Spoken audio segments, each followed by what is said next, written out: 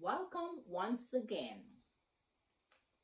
to our Leaders of Change Kingdom Lifestyle Bible teaching.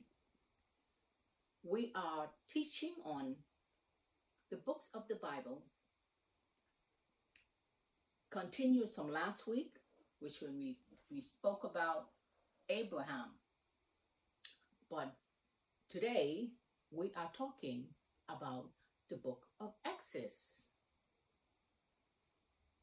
And I pray that your hearts are receptive and open to what God is saying to you. I know for sure He always has a word for those in need. So we allow the Holy Spirit right now to have its way. And I pray that you are blessed. What's being said through my husband's lips, my husband Ian, I am Janet. And we give God praise, honor, and glory for everything He has done in our life, doing right now, but especially what He's about to do. So be blessed, and we give God praise, for His word is life and truth. My you want to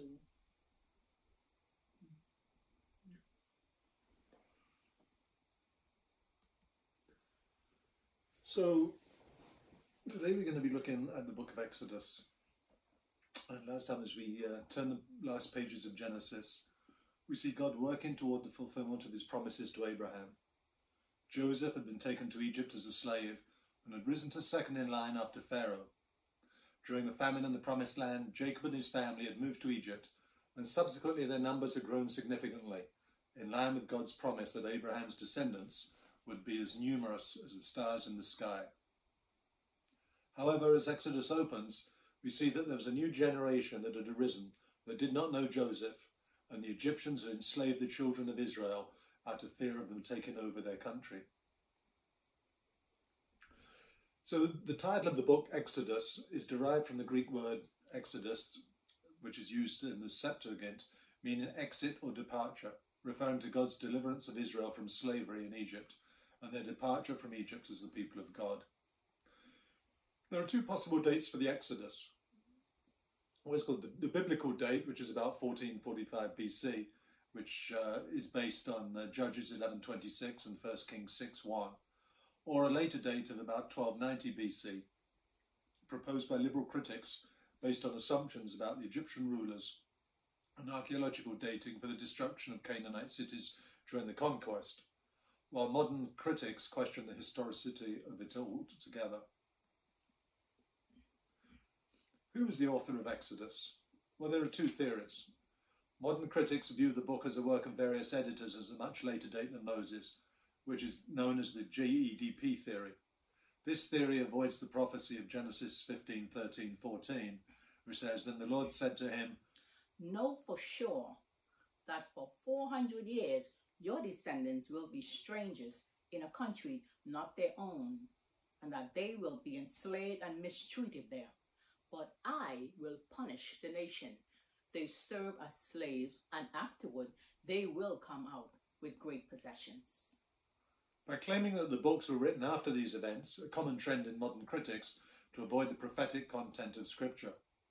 However, Jewish tradition from the time of Joshua onwards, plus the testimony of Jesus, early Christianity and contemporary conservative scholarship all attribute the book's origin to Moses.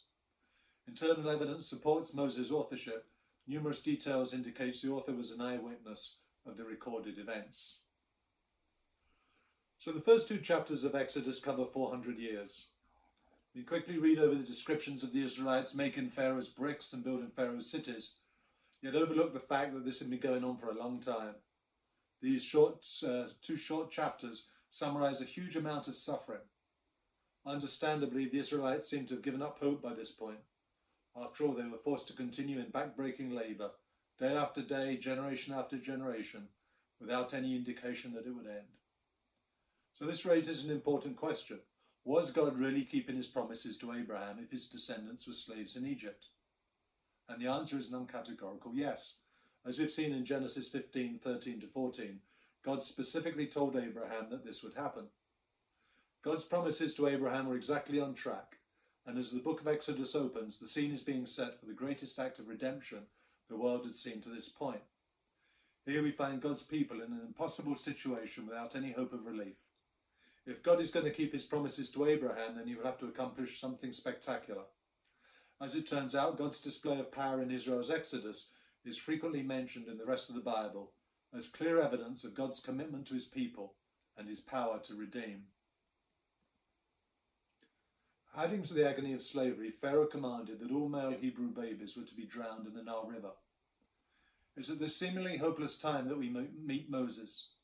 By his mother's cunning and God's provision, Moses survived the slaughter. At this vulnerable moment at the beginning of his life, no one could have predicted how greatly God would use Moses. After Moses' mother saved him by floating him down the Nile in a basket, Pharaoh's daughter discovered, raised, and educated him. Though trained in the house of Pharaoh, it seems that Moses deeply understood his connection to the nation of Israel. In fact, it was an early attempt to fight for his people by murdering an Egyptian that led Moses to flee to the wilderness. So during this period of exile, God was preparing to rescue his people from slavery. During those many days, the king of Egypt died, and the people of Israel groaned because of their slavery and cried out for help. Their cry for rescue from slavery came up to God, and God heard their groaning, and God remembered his covenant with Abraham, with Isaac, and with Jacob. God saw the people of Israel, and God knew. Exodus 2 23 to 25. It's important to recognize that God that what God was about to do here was directly related to his covenant with Abraham. Though the situation seemed entirely hopeless, God saw his people, and he knew. Just as he did with Abraham, God chose to begin this next phase of redemptive history through one man, Moses. As Moses tended his father in law's sheep in the wilderness, Moses had an unforgettable encounter with God, an event that changed his life and shapes our understanding of who God is.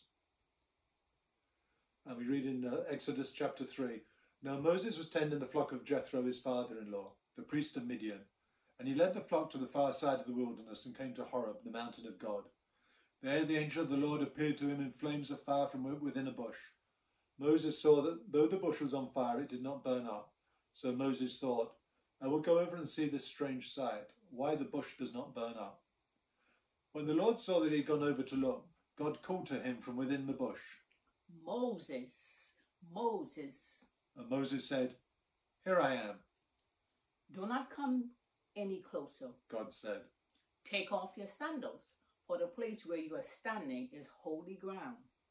Then he said, I am the God of your father, the God of Abraham, the God of Isaac, and the God of Jacob. At this, Moses hid his face because he was afraid to look at God.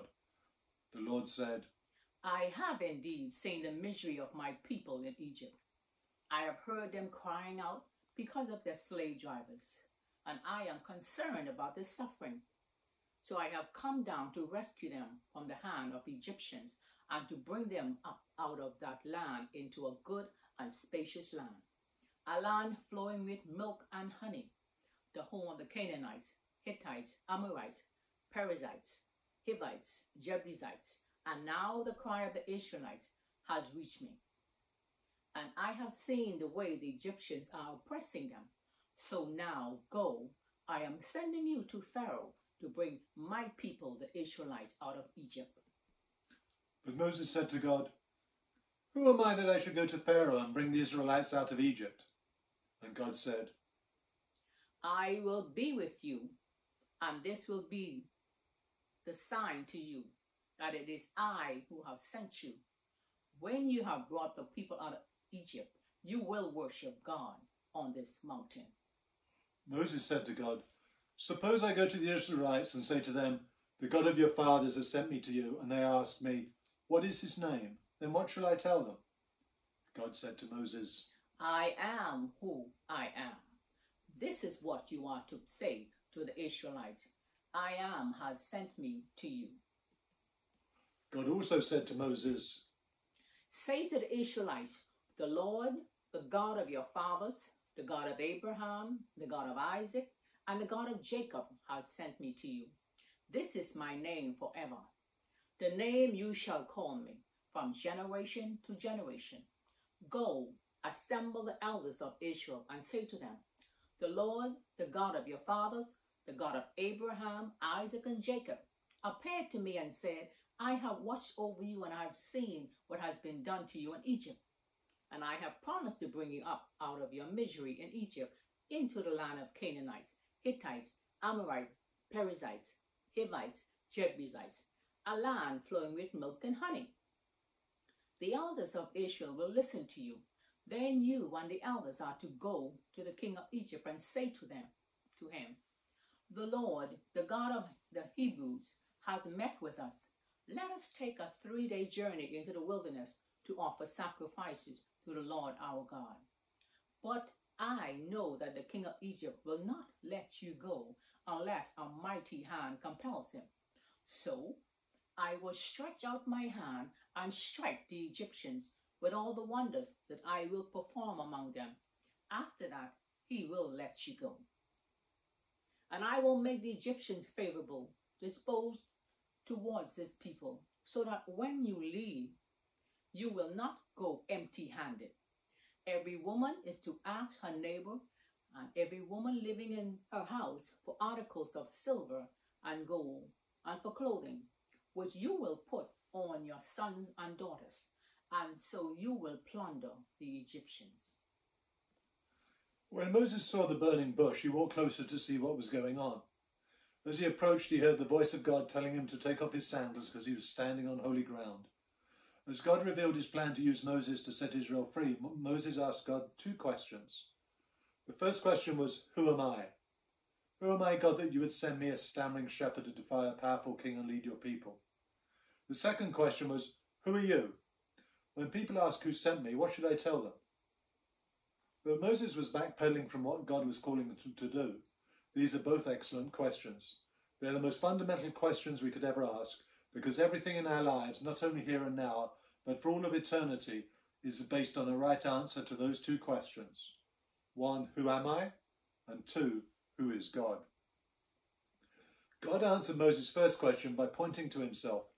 Moses asked, Who am I? And God simply replied, I will be with you. God's response at this point should be fundamental to the way we view ourselves.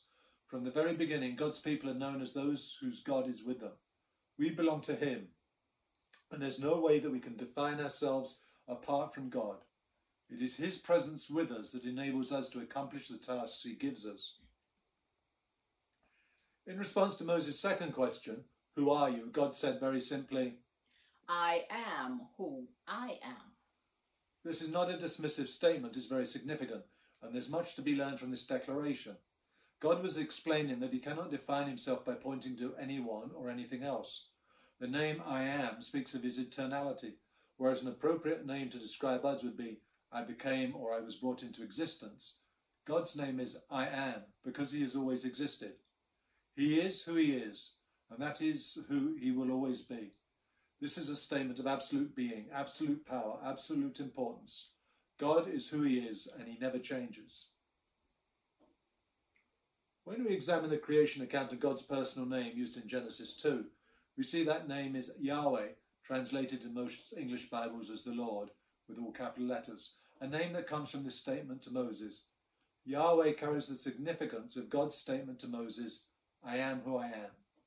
The name Yahweh is actually used over 6,000 times in the Old Testament, three times as often as the simple name for God, Elohim, which is the title for God used in Genesis 1. The implication of this frequent use of God's personal name is that God aims to be known in Scripture not just as a generic deity, but as a specific person with a wholly unique character and a special relationship with his people. It's impossible to convey exactly what this encounter must have been like for Moses. He walked away from his sheep because he saw something remarkable a bush that was burning without being consumed. But he had no idea that he was actually walking into the presence of the living God. God immediately commanded Moses to take off his sandals because he was standing on holy ground. As soon as Moses saw what was really happening, he hid his face. God's holiness was more than he could bear. All he could do was listen and obey. God then sent Moses back to Egypt to lead his people out of slavery, and into the land that he promised to give Abraham's descendants. When Moses arrived, he gave Pharaoh a simple command from God Let my people go. Not only did Pharaoh refuse to let Israel go free, he intensified their labor to the point that the Israelites got angry at Moses for provoking Pharaoh. Even Moses himself seemed to have lost heart at this point. But God continued to carry out his plan of redemption, showing his resolve to keep his covenant with Abraham and to free his people from bondage. We read again in uh, Exodus 5:22, going through uh, into chapter 6. Moses returned to the Lord and said, Why, Lord, have you brought trouble on this people? Is this why you sent me? Ever since I went to Pharaoh to speak in your name, he's brought trouble on this people, and you've not rescued your people at all. Then the Lord said to Moses, Now you will see what I will do to Pharaoh. Because of my mighty hand, he will let them go. Because of my mighty hand, he will drive them out of his country. God also said to Moses, I am the Lord. I appeared to Abraham, to Isaac, and to Jacob as God Almighty.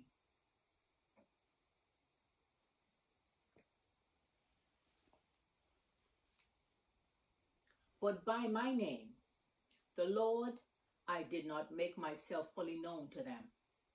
I also established my covenant with them to give them the land of Canaan, where they resided as foreigners. Moreover, I have heard the groaning of the Israelites, whom the Israelites are enslaving, and I have remembered my covenant. Therefore, say to the Israelites, I am the Lord, and I will bring you out from under the yoke of the Egyptians. I will free you from being slaves to them, and I will redeem you with an outstretched arm and with mighty acts of judgment. I will take you as my own people, and I will be your God. Then you will know that I am the Lord your God, who brought you out from under the yoke of the Egyptians, and I will bring you to the land I swore with uplifted hand to give to Abraham, to Isaac, and to Jacob, and I will give it to you as a possession. I am the Lord. Moses reported this to the Israelites, but they did not listen to him because of their discouragement and harsh labor. Then the Lord said to Moses, Go, tell Pharaoh, the king of Egypt, to let the Israelites go out of his country. But Moses said to the Lord, If the Israelites will not listen to me, why would Pharaoh listen to me, since I speak with faltering lips? Now the Lord spoke to Moses and Aaron about the Israelites and Pharaoh, king of Egypt, and he commanded them to bring the Israelites out of Egypt.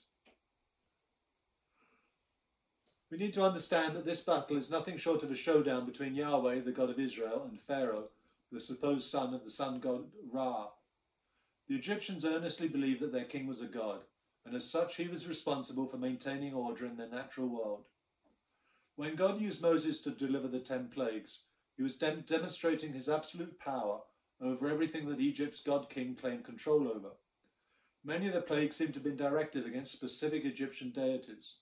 For example, the plague of darkness would have been an embarrassment to Ra, the sun god, but all of them would have undermined Pharaoh's claims to deity. Just as we saw in the accounts of creation, the flood, and the Tower of Babel, we are seeing that God controls every aspect of the world he created, and he will not share his authority with anyone. He fights for his own glory and proves that he is the ultimate power and only true God. Though God clearly demonstrated his power over Pharaoh and all of Egypt's gods through the first nine plagues, it was the tenth plague that ultimately got Pharaoh's attention. God warned that unless Pharaoh released his people, every firstborn in the land of Egypt would be killed. Tragically, Pharaoh refused, and the consequences were devastating. At midnight, the Lord struck down all the firstborn in the land of Egypt, from the firstborn of Pharaoh who sat on his throne to the firstborn of the captive who was in the dungeon, and all the firstborn of the livestock. And Pharaoh rose up in the night, he and all his servants and all the Egyptians. And there was a great cry in Egypt, for there was not a house where someone was not dead. Exodus 12, 29 through 30. It's difficult to imagine such a scene, but it teaches us an important lesson about God. Just as he is faithful to keep his promises of blessing, God is also faithful to carry out his warnings of wrath. This is important to keep in mind in a time when so many doubt and even ridicule God's intention to punish. Notice that God had graciously offered the Egyptians an alternative before he got to this point. Pharaoh could have submitted to God's call and his nation would have been preserved. God also provided an alternative for the Israelites. Any Israelite who put the blood of a lamb on their doorpost would be passed over. The angel of death would move on to the next house. For us today, it's hard to imagine what this would have been like for the Israelites, as we do not slaughter our food anymore. We buy it prepackaged and ready to eat. But bringing a lamb into your house and slaughtering it and then taking its blood, and as your children watch, you wipe it across the doorpost over your home. That's an image that stays with you for a very long time. And imagine your young child, either young boy or girl, asking, Why did you do that, Daddy? And your response would be, The lamb was a substitute. Instead of someone in our family dying, the lamb died. Look at your brother and realize that the lamb died instead of him. The stark reality of that night is that the only people who were exempt from judgment were those who put blood on their doorposts, and in so doing trusted that death would pass over them. It's not that the Israelites didn't experience God's judgment because they were better people. They escaped God's judgment simply because they trusted in the sacrifice by God, provided by God. And everyone, even slaves who trusted in that sacrifice, was spared on that night. This is the picture we see throughout Scripture, and it's important to keep in mind when we read about God's covenant with Moses and the laws that God gave to govern his people. Keep in mind that from the very beginning, the only way to receive forgiveness was through trusting the forgiver. The only way to be a recipient of the promises of God is to trust God. The people were saved only because they trusted God as they saw the blood of a spotless lamb over their doorposts. This night was the first Passover, an event that the Jews have celebrated once a year ever since. It's full of significance that Jesus, on the night he was betrayed, recast the Passover celebration in terms of his own death and resurrection. Jesus could hardly have been clearer that he was laying down his life for his followers as their Passover lamb. Paul makes this connection explicit in the New Testament where he told us, Christ, our Passover lamb, has been sacrificed. 1 Corinthians 5 7. Though the death of every firstborn in Egypt convinced Pharaoh to release the Israelites, he soon changed his mind and chased after them. This provided the backdrop for one of the, of the most memorable events in salvation history. As Israel sat with their backs to the Red Sea, Pharaoh's army approached rapidly. It seemed certain that their exodus from slavery was over immediately after it began. But nothing is too difficult for God. Nothing can stop him from fulfilling his promises. He proved this by splitting the waters of the Red Sea, allowing his people to walk across on dry land, and then destroying Pharaoh and his army as the waters closed in around them. As God redeemed his people by leading them out of slavery, he demonstrated in dramatic fashion that Israel's God is like any other, so called God. And yet, after God's incredible deliverance, we should take note of Israel's long term reaction. What did they do time and again? in response to God's redemptive grace. They forgot, they complained, they longed for the days when they were back in Egypt. How could this people who had so clearly seen God's hand at work stop trusting God and begin complaining about their circumstances? But before we become too critical of the Israelites, let's look at our own lives. We may not have been saved from an oncoming army by walking through the sea on dry land, but those events are part of our heritage. Not only that, but we've seen God come through for us in incredibly powerful and personal ways. No matter what we try to make ourselves believe in our darkest moments, everyone has unmistakably seen the hand of God in our lives.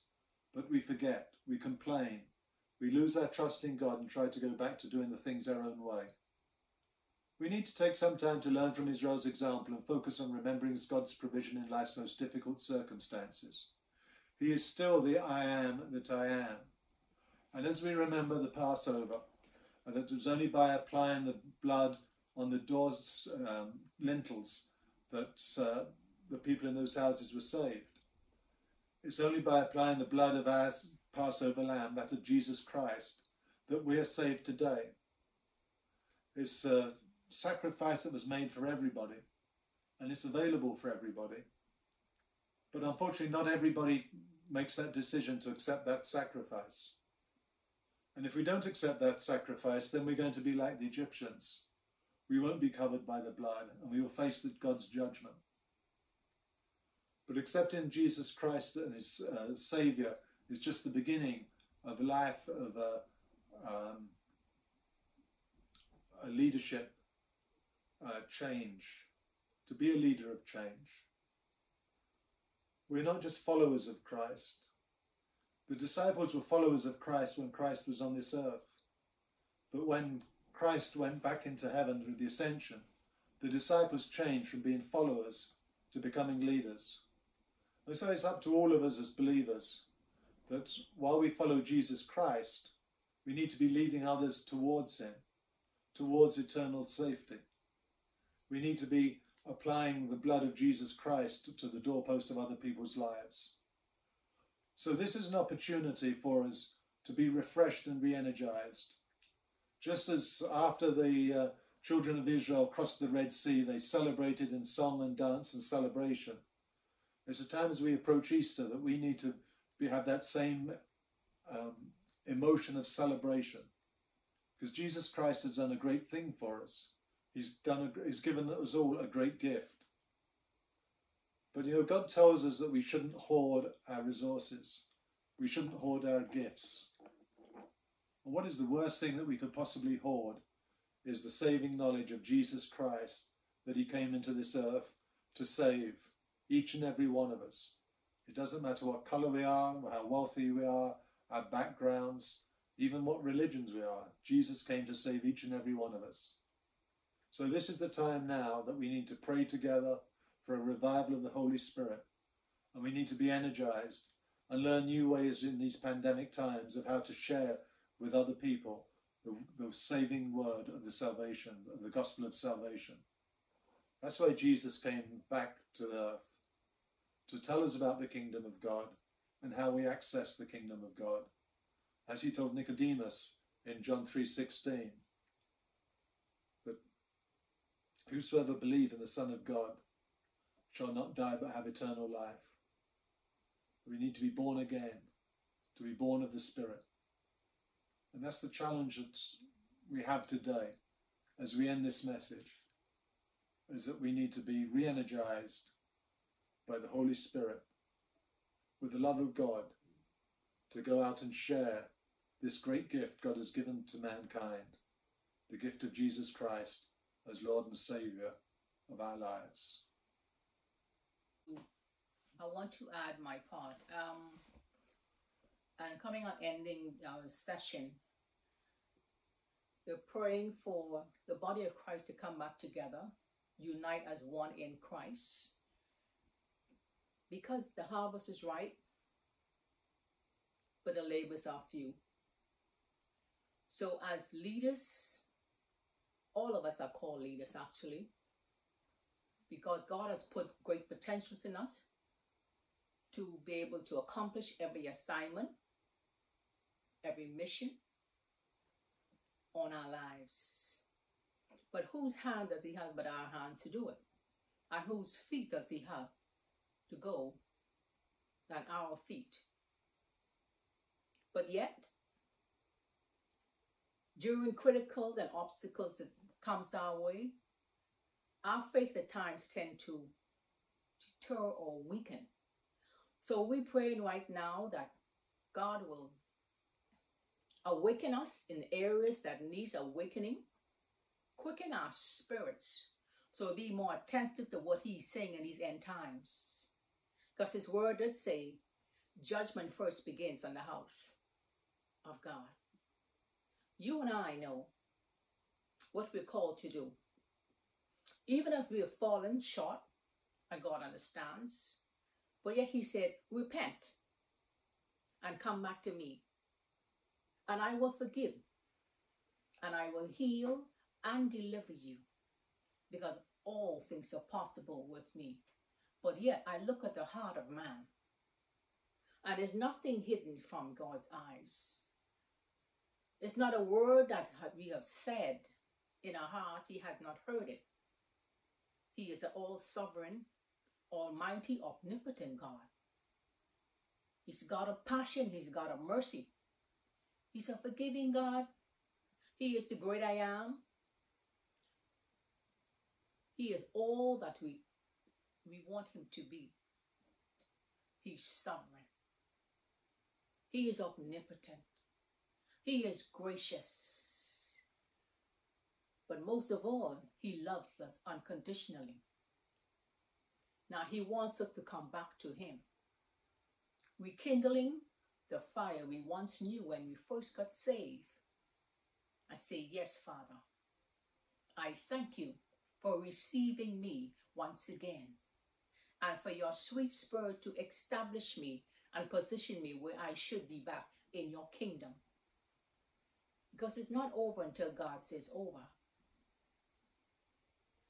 So I thank you, Father, right now for the sacrificial life that Jesus had demonstrated for all of us. Because all have sinned and come short.